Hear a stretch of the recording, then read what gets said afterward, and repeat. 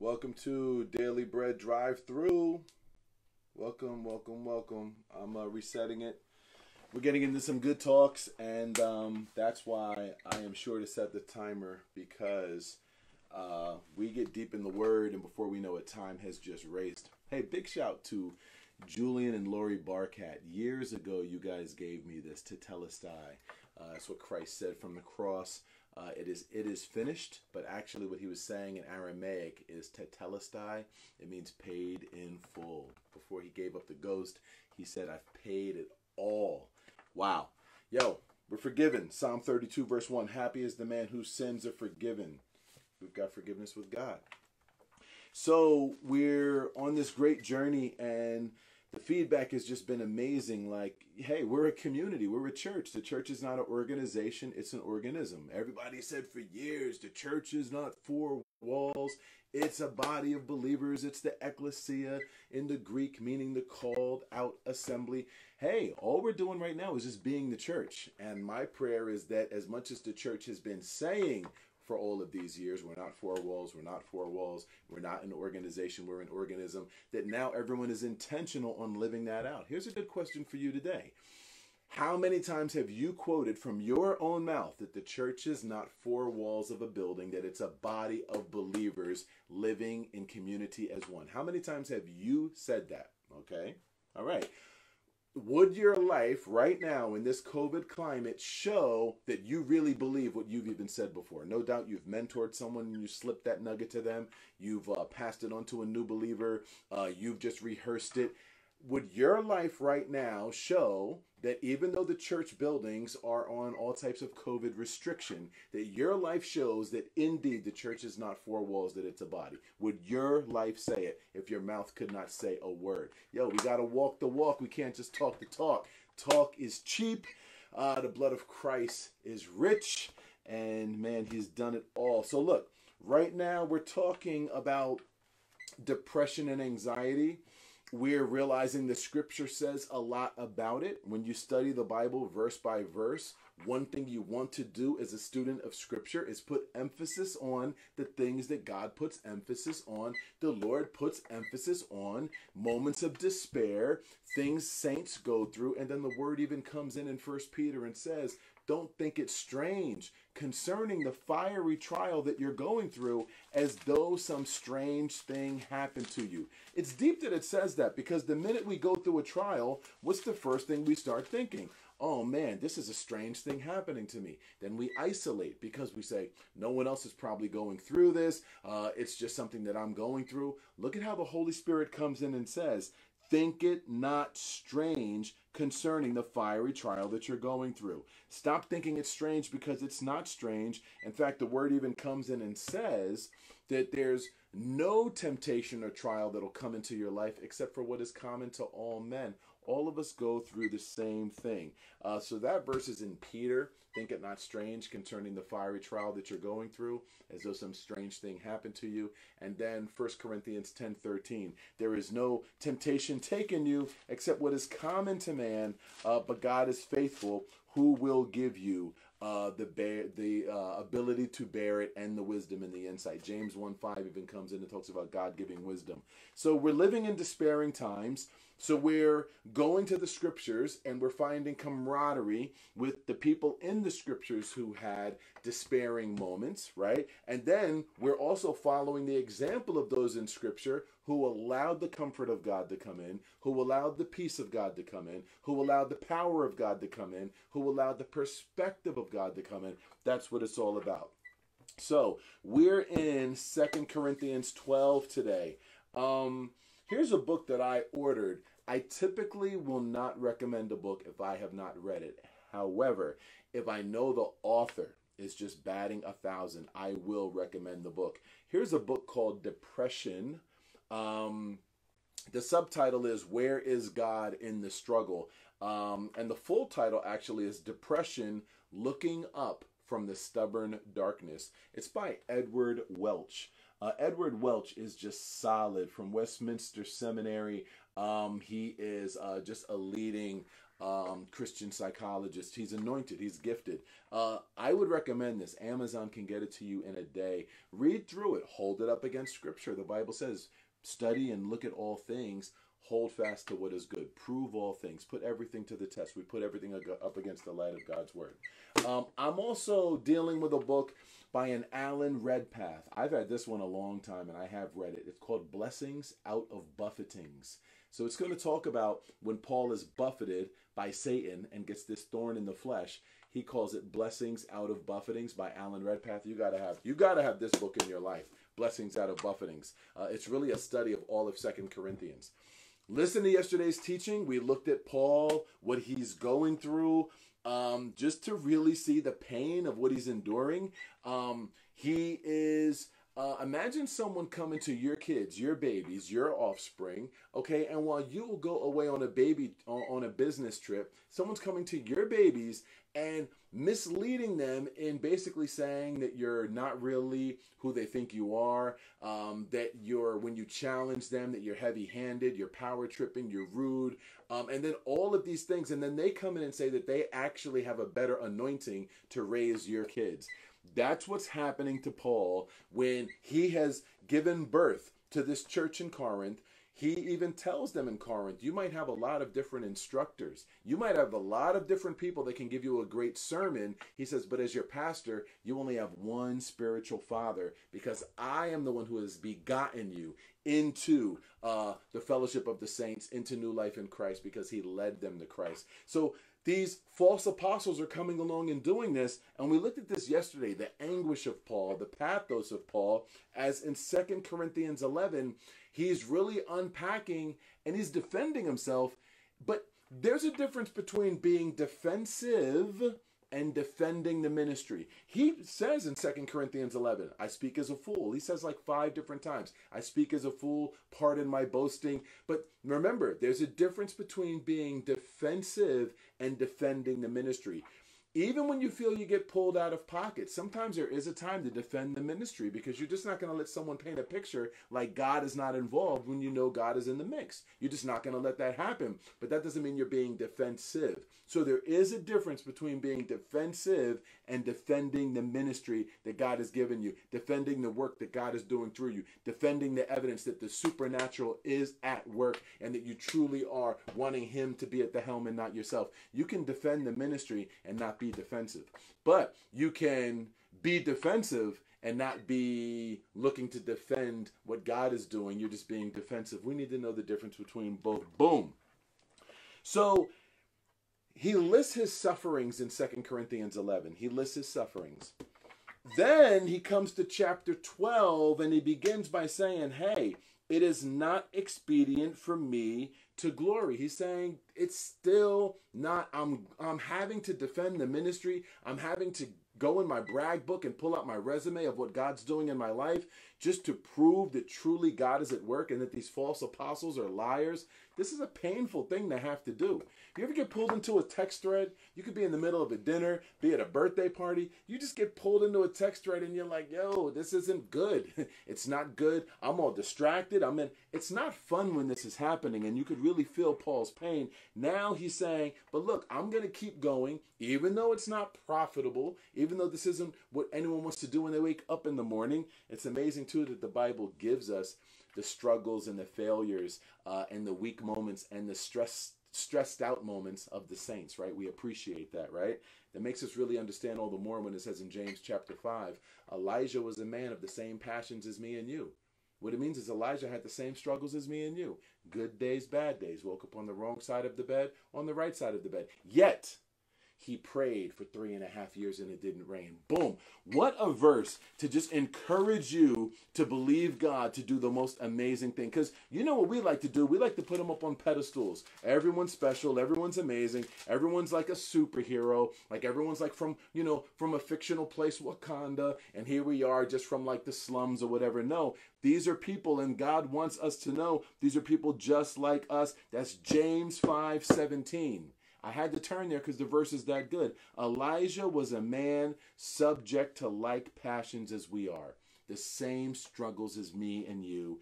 And yet he didn't let that stop him from believing in the goodness of God and the grace of God, he prayed earnestly that it might not rain, and it rained not on the earth for three years and six months. Then, verse 18, he prayed again. Still didn't let the fact that he had good days and bad days, highs and lows, stop him from believing in the grace of God. He prayed again, and the Lord gave rain, and the earth brought forth her fruit. I love the digressions on Daily Bread drive through. That's why sometimes you got to listen to it twice because we're going to jump around. We're going to keep it moving, keep it popping. Second Corinthians 12. Remember, Paul, he's defending the ministry. Is he leaning a little bit and getting defensive? Who knows, man? The heart is deceitful and desperately wicked. Uh, we just get grieved when it's happening. I'm sure he looks back and is like, man, I wish none of that happened, but God included it in Holy Writ, right? But he is dropping some nuggets, and in the middle of this venting he's doing, yo, we have one of the most powerful chapters in all of the Bible when it comes to getting insight to why we have these struggles that we want gone and God won't take them away. Again, in this venting, we have one of the most powerful chapters on why we go through these struggles and why these things are allowed in our life, things that we feel are hindering us. Make a list right now. What is going on in your life? What personality thing, what way of thinking, what affliction you feel like, yo, this hinders me from being used by God. Um, it restricts me. And we get insight because Paul's going to tell us that he had one too. And we get insight into why we have these kinds of things and they don't seem to go away even when we pray. Boom, let's read. So he says, 2 Corinthians 12, 1. 2 Corinthians 12, 1 for those that came late. It is not expedient for me, doubtless, to glory.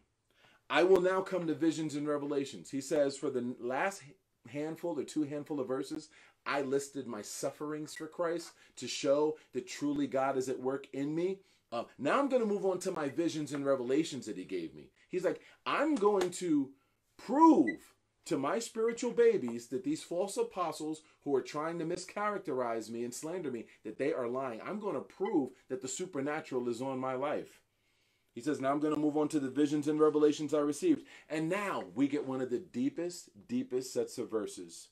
Jonah, you ready for this? Mm-hmm. You got it on your phone? Mm-hmm. My man, yo, big shouts to my 14 year old down here recording with me because wifey is on a conference call. And what's he doing? He's got his phone out. He's getting in the word. What does Daily Bread Drive Through do for you, man? That's my dude. That's my dude. That's my heart, man. That's my come on. Yo, it's a family thing here. I hope that you're pulling the family in for yours as well. All right, let's keep it moving. Paul says this. I'm gonna just read it first.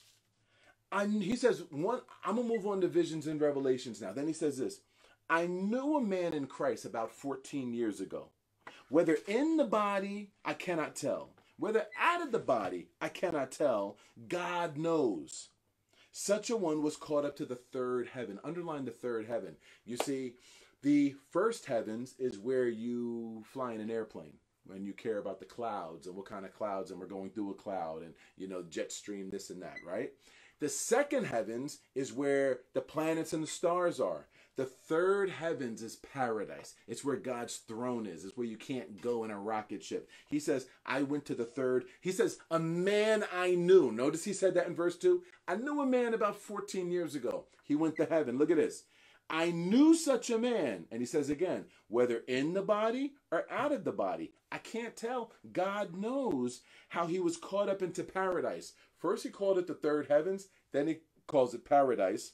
And he says, and he heard unspeakable words, which it's not lawful for a man to utter. He said, This man went to paradise and heard things too sacred to reveal. Whoa. He said he went to paradise and he heard things too sacred to reveal. He's saying, it reminds me of 1 Corinthians 2 9. Eye has not seen, ear has not heard. The human heart can't even imagine what God has prepared for them that love Him. He's saying it would be a crime to try to use human language to convey what this man saw in paradise. Verse 5 Of such a one will I glory, yet not of myself. I will not glory. I'd rather glory in my weaknesses. So you see how Paul's getting pulled into this thing where he has to glory he says he feels foolish for doing it. He has to assert the reality that truly he is called of God and the fruit of God is evident in his life. He's defending the ministry and trying not to be defensive, right? But he keeps saying, "I'd rather, I'd rather, I'd, I'd rather just celebrate my infirmities, though. I'd rather just celebrate my infirmities, though." He says the same thing um, in Second Corinthians eleven thirty after listing all his sufferings. He says, "If I must needs glory."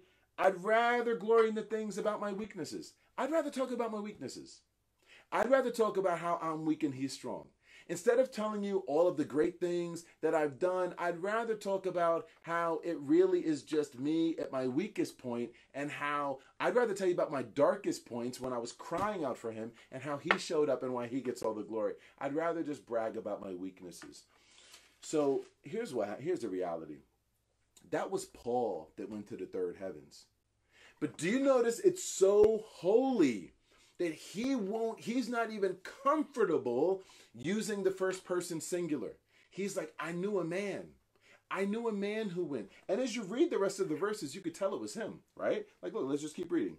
Of such a one, verse 5, I will glory. Yet of myself I will not glory, but rather glory in my weaknesses for verse 6, though I would desire to glory, there's a part of my flesh that wants to glory, I will not be a fool, for I will say the truth, but now I forbear. I, I'm going to hold back, lest anyone should think of me above what he sees me to be or hears of me. I don't want anyone putting me on any pedestal.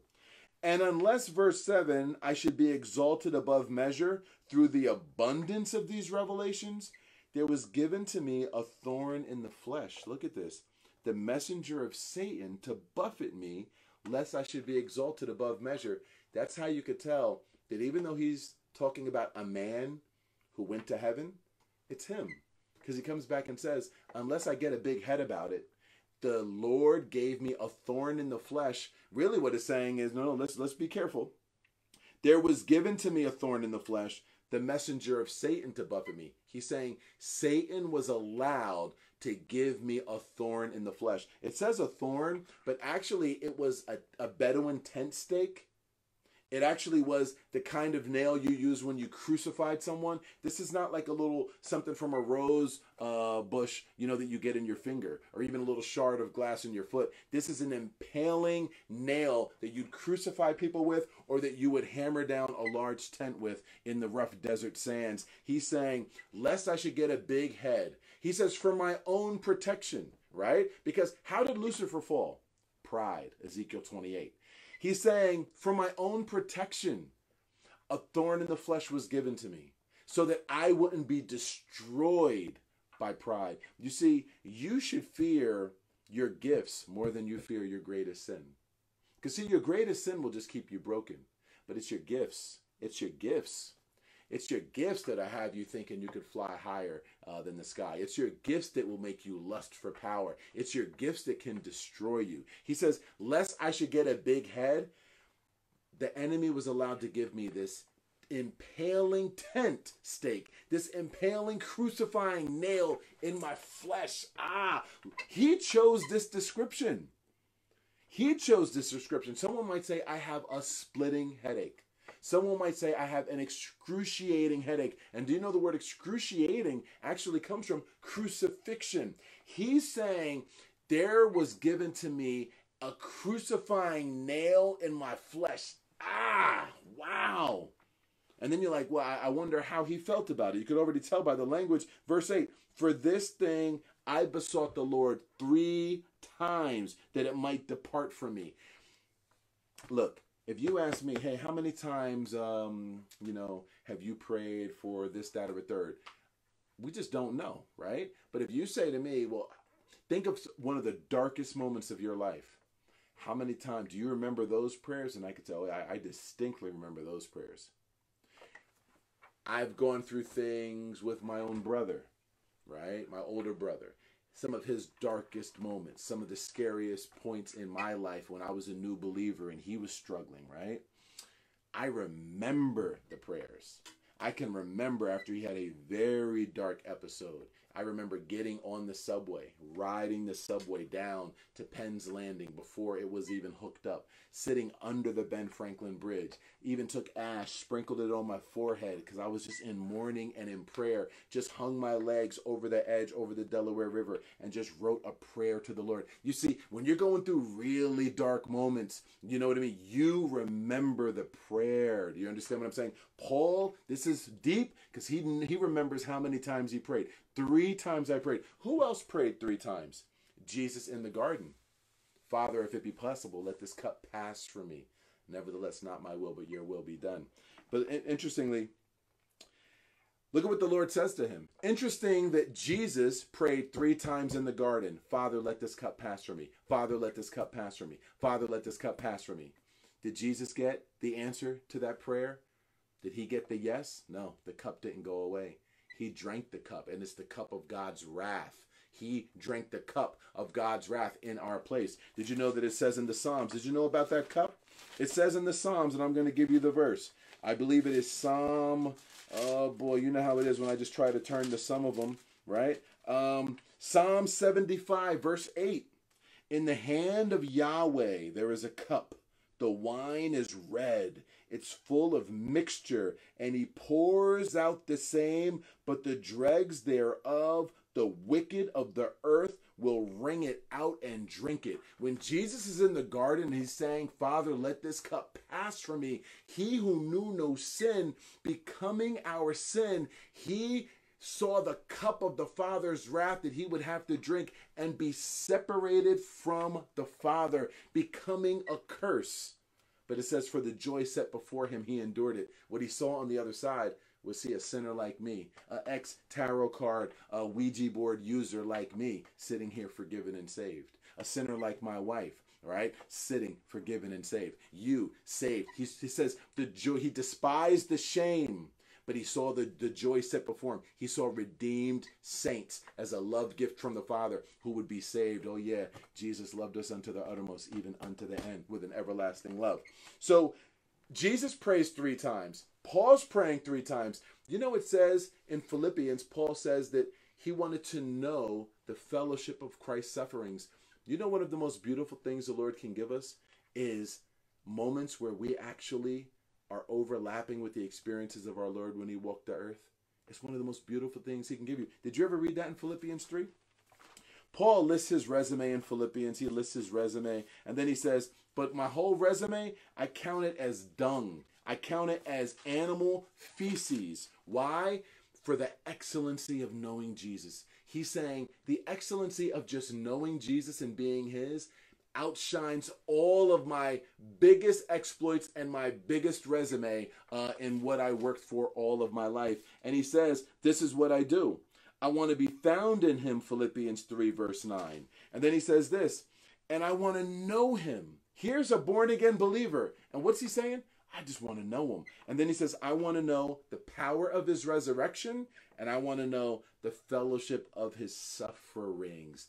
You see, one of the most beautiful things the Lord can give us is times where we have to endure pain on earth, but it actually is identical with what the Lord endured for righteousness. Not enduring pain because we're being knuckleheads. Not it says in Peter, let no man suffer because he's being unrighteous, right? Don't don't don't don't claim to be a martyr when you're when you're dealing with drama that you created because you were a knucklehead. No, it's talking about when we're trying to fight the good fight of faith to the best that we can, and the Lord allows us to experience things in ministry, in the Christian walk, among family and whomever, and you find that your life is identical with the betrayal of Christ. Your life is identical with the betrayal of Joseph. Your life is identical with all of how people turned on Daniel. It's one of the most beautiful things he could do is to bring your life in line with the sufferings of Christ because it you find a fellowship there. It's the fellowship of his sufferings. A lot of believers don't do that. So what do they do? They just endure the trial and they come out bitter people. You know what?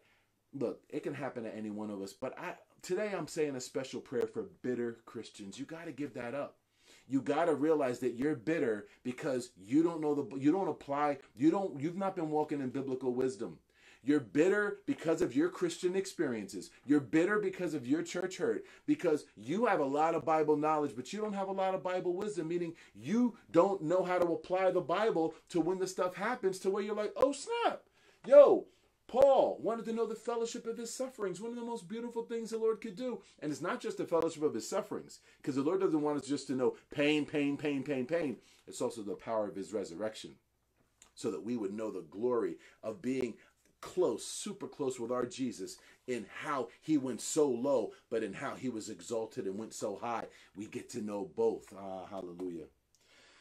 So look, it's 25 minutes. I got to make some decisions here, but let's keep it moving.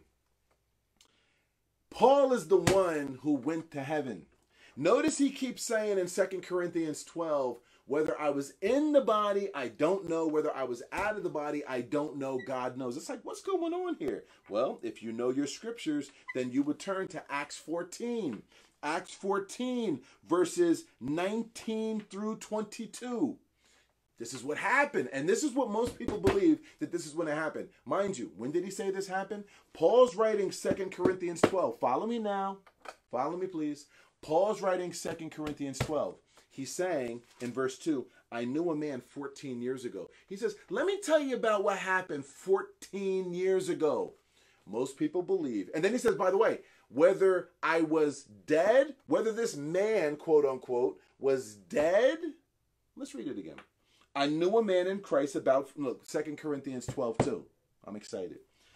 I knew a man in Christ above 14 years ago. Whether in the body, I can't tell, or whether out of the body, I can't tell. God knows. Then he says it again. Verse 3 I knew such a man. Whether in the body, I can't tell. Whether out of the body, I can't tell. God knows. What's he talking about? Sounds like someone who had a near death experience and they don't even know whether they were dead and and literally went to heaven or whether they were just in a coma and the Lord showed up and showed them the vision. That's why he keeps saying God knows. Most people believe that that's Acts 14. Turn to Acts 14 verses 19 through 22. Paul went and preached at Lystra. They started worshiping Paul like he was a Greek god. The minute he said, No, I'm not a god, I'm a man just like you. But let me tell you about Jesus. Yo, they went from thinking he was a god to what happened in Acts 14 19. Then there came certain Jews from Antioch and Iconium who persuaded the people. And what they do? They stoned Paul, dragged him out the city, and what supposed he'd been dead, they left him there for dead. This is when Paul is saying, I was that man. I went to the third heavens. I don't know whether I really went and came back to life like Lazarus or whether I was in a coma and just saw the vision. God knows. That's when it was right there. I I I'm I'm that's my go-to. There's a lot really that's the prevailing view among all theologians and students of scripture. And then it says basically they left him there like he'd been dead. However, as the disciples stood around about him, they thought he was dead. It said, boom, verse 20, he rose up, came into the city, and the next day he departed with Barnabas and Derbe. See, a lot of people would have just got up and gone home. They'd have got, yo, people quit off of infinitely less. People quit when when when someone, I don't know, just just doesn't tell them in enough time that there's a change in the Sunday school program. when they just when, when they show up and what they thought they were going to do for the night they didn't get to do for the night. And when they don't get the microphone as soon as they wanted. Paul got stoned. What's he do? Got up. And what did he do? When they had preached the gospel to that city and taught many he returned to lystra. What did he do? He got shot up by the firing squad dragged out the city. Where's he go when he resurrects off the ground? Back to the same spot, back to the same city. Yo, listen to this. And what did he do? Verse 22. He confirmed the souls of the disciples and he exhorted them to continue in the faith and said that we must, through much tribulation, enter the kingdom of God. Yo, can you imagine how this dude looked? It said he went back and he had a message for them at Lystra he got stoned and dragged out the city. I personally believe he died. The Lord is so glorified. I believe Jonah died in the whale and was resurrected. I believe Paul died. Paul doesn't even know if he died. I'm, I would not be surprised if he died. The disciples thought he was dead when he rose up. Imagine how he looks when he goes back in the city and he's just scarred up, stoned up.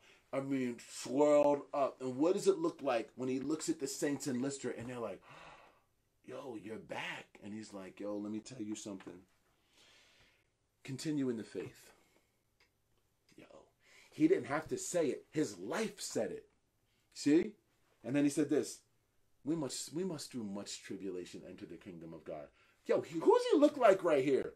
He looks just like Jesus. John 16, verse 33. In this world you will have trouble, Jesus said, but be of good cheer. I've overcome the world. You see, look, I could end up with a trial later on today. And if I don't apply this at that moment, I could fall to pieces like a house of cards. We got to remember this. We got to cherish it. We got to fall in love with it. Are you falling in love with this today? Boom. Back to Second Corinthians 12. Paul says, you look, it was so special what Paul was shown about heaven. He keeps saying, I knew a man. I knew a man 14 years ago. I knew a man 14 years ago.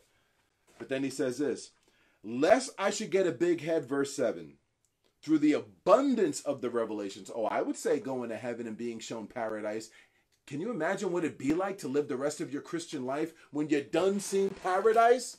Uh, you think you'd be you think you'd struggle with holding on to twenty dollars in the face of a homeless person? You think you'd struggle with being stingy? You think you you see what I'm saying? Wow, to see glory? You think you'd be as easily tempted to start wanting to build your kingdom down here when you're done seeing it? He says, unless I should be exalted above measure through the abundance of the revelations, there was given to me a thorn in the flesh, the messenger of Satan to buffet me, lest I should be exalted above measure. He says there was a, a ministry. While I was doing ministry, there was a ministry that was given to me the ministry of the thorn, the ministry of the crucifying nail in my flesh. That nail had a ministry. Do you know that there's some things we're going through that have a ministry? Your depression could have a ministry. Your anxiety could have a ministry. A ministry to do what? To keep us from being exalted and being puffed up. The Lord knows just how much to give us and to keep us close and get us closer to the Lord and understand what? Let's read. He says, For this thing, verse 8, I besought the Lord three times that he might take it from me. But he said to me, My grace is sufficient for you. My grace is made perfect in your weakness. Most gladly will I rather glory in my infirmities, that the power of Christ may rest upon me. You see, he came to realize the thorn had a purpose, and that the thorn came with provision of, of knowing grace more. What are you going through today? What is your thorn? Paul, it never got taken away from him. That means for he said he knew a man 14 years ago, and the thorn was given lest he should be puffed up from what he saw 14 years ago. Paul is writing 14 years of carrying that thing. What was it? Some think the thorn in the flesh was an eye condition. I don't think it was an eye condition. Galatians 6:11, he says, "Look at the letter I've written." He had to write a letter with large letters when he wrote the Galatians because he did have an affliction of the eyes, aka ophthalmia. I don't think it was that because the Lord says, "My grace is sufficient." I believe it was something in Paul's mind. It was a way the enemy was attacking his thinking. I got to go. I got to go. Tomorrow we'll be back. We're going to talk about the ministry of the thorn. God bless you. Be encouraged in the word. Read ahead. Salute.